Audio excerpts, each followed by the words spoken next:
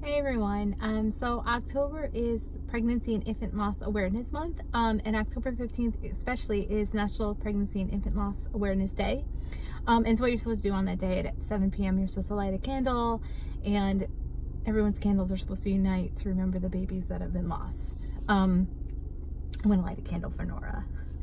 Um, but there are also some things that I wanted to discuss statistically that I've come across um, in these like recent months so the CDC reports that one in a hundred pregnancies end in a stillbirth um, for 20 weeks or later, um, and that equals out to about 24,000 babies that are born that are born stillborn a year. Um, it's a lot of babies. It's a, a, lot of babies. Um, and Nora is included in one of those babies. Um, it also stated too that um, 10 to 15% of pregnancies result in a miscarriage, um, which is 20 weeks or under. Um, and that is 1 to 5% happening between weeks 13 to 19, um, which is still an alarming number. Um, because, you know, the old wise tale is, oh, once you get out of the first trimester, you're fine. Clearly, that is not the case at all. Um, and it's hard for them really to do any sort of studies or really um, kind of get to the bottom of it because every pregnancy is different and no woman is obviously willing to risk their self and their child um, for studies. There was an article I did come across though saying that maybe it's time to get a little bit more serious about the placenta. Um, I wish I had the link to it right now, but I don't. Maybe one day I'm going to find it and I'm going to post it on here. Um, because I agree, it's, it is time to really like investigate these placentas.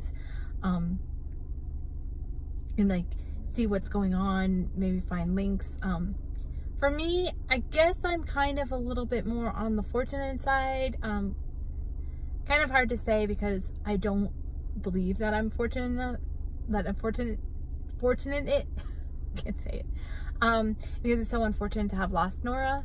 Um, but I was able to, you know, um, go to the doctor and it will determine my cause and my solution. So like I told you all, I have the uterine septum, um, which I can get removed. So hopefully in my next pregnancy, I can have a healthy pregnancy. Um, but not every woman gets that lucky. Some women never even get the answers and uh, have to go through this time and time again.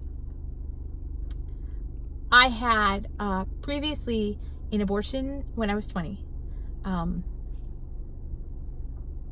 you don't regret it. Um, maybe I wish now I had kind of found out what I know now. Um, and I also had two miscarriages prior to Nora. Um, both of them were kind of back to back. Um, and they was about three years ago.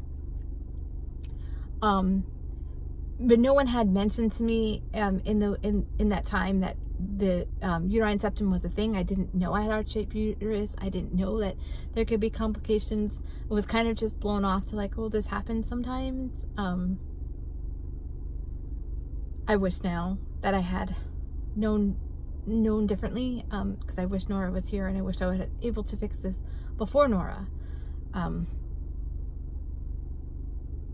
but unfortunately, that is not the circumstance. Um, so I just have to just pick myself up and just keep going like I keep saying in these videos. Um, last few videos, guys, not gonna lie, last three ones have been really hard. Uh, I guess another thing too I wanted to say, so given that it's National um, Pregnancy and Infant Loss Awareness Month, is just that.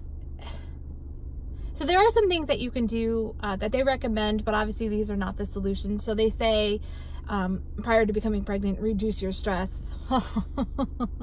One I'm learning. Um, they also say um, proper diet and exercise, uh, which I keep saying to you guys, I'm, i want to really start showing you um, all of this stuff. Um, get yourself to a healthy weight.